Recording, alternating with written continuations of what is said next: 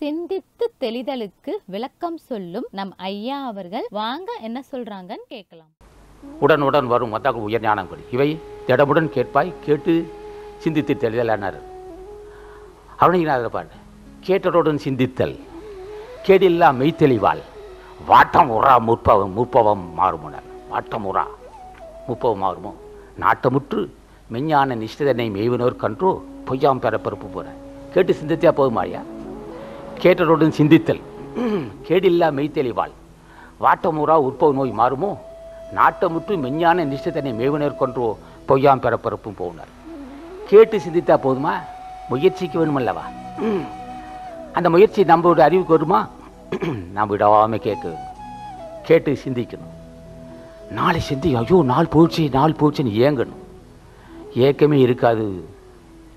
சராசரி மனிதனுக்கு ஏங்கவே மாட்டான். அவன் பொதுபோக்கிட்டே இருப்பான். அப்போ பொது பத்த- தூக்கம் வராட்டி மாத போதை வச்சு சாப்பிடுவான் இதை செஞ்சுருப்போம் அப்போ சராசரி மனிதருக்கு சராசரி மனிதர்கள் இது வர மாட்டான். அவனை கொண்டு வர வேண்டுவது தான் நம்ம சன்மார்க்க சொல் சங்கம். அப்போ அவன் தொடர்ந்து பிடித்து வரணும்னு சொல்லுவார் தொடர்ந்து திருவடி பற்றினால் சத்திய விசாரம் செய்கிறான் என்று பொருள். சத் விசாரம் என்பதுக்கு குற்றத்தை நீக்கிறான். ஆராய்ந்து குற்றத்தை நீக்கிறான். அவ்வளோதான் தான் அது பொருள். ஆராய்ந்தான் விசாரித்தான் கேட்டான் தெளிந்தான் சிந்திச்சான். அத்தனையும் அப்போ குற்றத்தை நீக்கிறான். குற்றத்தை உன்னால் நீக்க முடியாது திருவள் துணை வேண்டும் அப்போ இதுக்கு என்ன உபாயம்னா? அவர் சொன்னார் கூடி தவம் செய்து கண்டியன் குறைகிறாள் தலைவனை நம்ம பொருந்த வேண்டும். சின்ன விஷயமா தலைவன் நம்ம அவ்வளோ லகுவாக போடுவானா? நாமளே சாக்கடையில் கிடக்கிறோம். நரகத்தை கிடக்கிற பிள்ளை யார் தூக்குவா? சாக்கடையில் பழுத்த சாக்கடையில் கிடக்கிற குளத்தை தூக்குவானா? அப்போ அவன் மனம் மகிழும்படி நம்ம நடந்து அவன் எப்படியா மகிழ்வானா?